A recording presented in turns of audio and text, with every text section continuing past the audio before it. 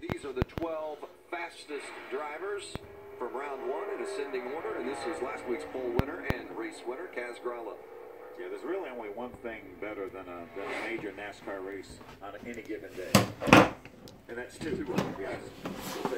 And these uh, these drivers now, Phil, they they explained to their crew chief, I ran wide open, but it was a little tight or it's a little loose. We made some adjustments. We could see some mix-up in the in the final results compared to the first time. And we heard Chase say the only thing he knew to do was be mindful of the steering wheel. That that means when you're turning the steering wheel, you're starting off speed. So if there's any way that he can minimize that, then he could pick up a little bit of lap time. And Chase was talking about being flat out.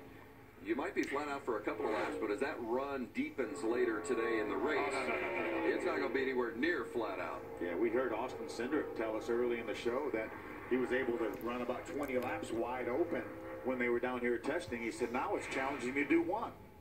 And that's when experience will, will pay off for some of these veteran truckers like Crafton, like Peters, and then the veteran cup guys that we have in the race, Chase Elliott and Kyle Busch. They've got enough experience under their belt to take advantage of these young kids that don't have all those laps, but the young kids have proven to be so talented. William Byron, Chase Briscoe looks like he's going to do the same thing and, possibly do the same thing in 17 that William did last year in the Truck Series. So you've got all these different variables that have happened. And remember, Christopher was leading the race inside of 10 to go when he cut a tire down last year. William was running second when he lost an engine. So it's amazing that probably one of our more challenging racetracks that we have on the on the circuit, that how these young guys adapt to it. And John Hunter Nemechek certainly didn't have the best truck last year, but he found himself in the right position at the right time at the end of that race and ended up winning. Nemechek started 18th in the race last year. That tells you what kind of qualifying effort and what kind of truck he had during qualifying. But this guy right here, Matt Crafton, was the pole winner, and the race didn't work out so well for him. So it doesn't matter where you start; it's going to be where you finish on the race. And I tell you what, if John Hunter Nemechek drives to victory lane in his truck, if I'm Joe Nemechek, I'm gonna follow him right in there. I'm gonna beat him. I might even beat him to victory lane and be there waiting for my son. Crafton fastest. Able to pick up just a little bit over. Yeah, ran a uh, 96 in that first round, a 92 in this round.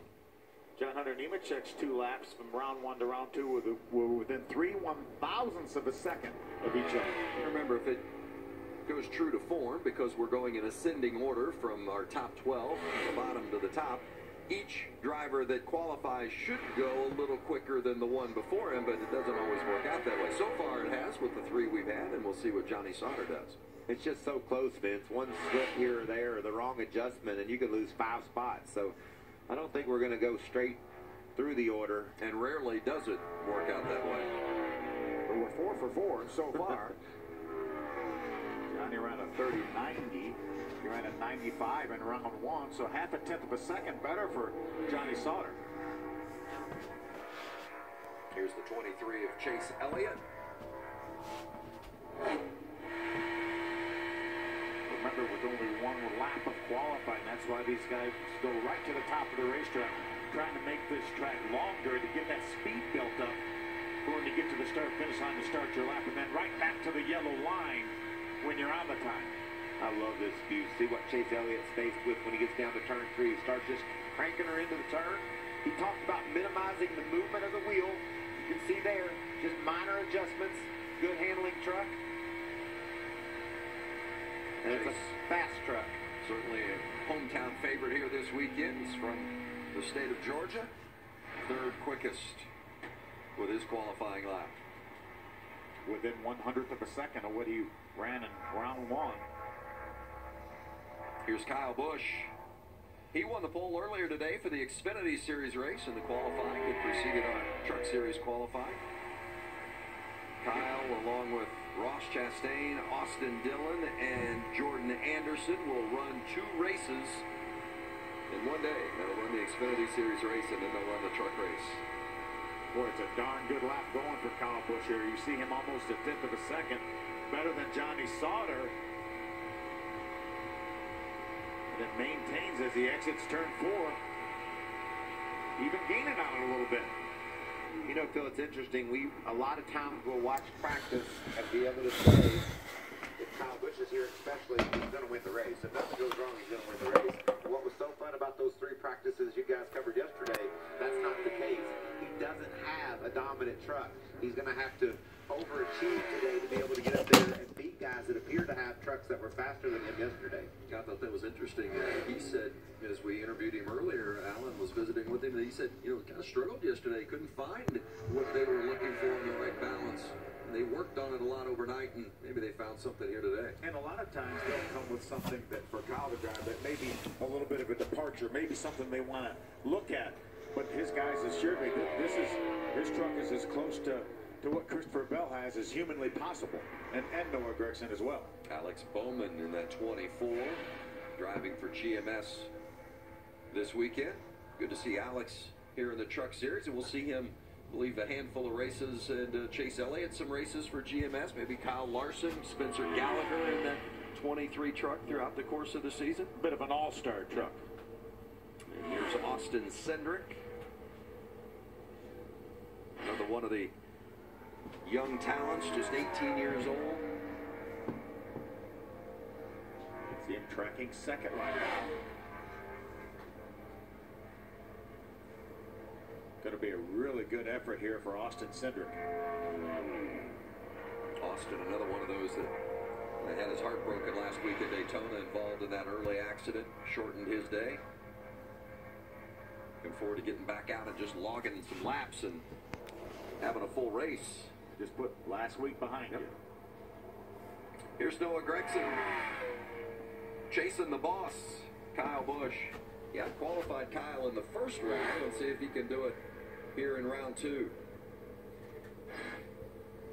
About eight hundredths of a second off right now, halfway down the backstretch. Austin Cindric was able to pick up nearly a tenth of a second, so that was an improvement. Kyle Busch picked up. Looks like Gragson's going to slow down a little bit.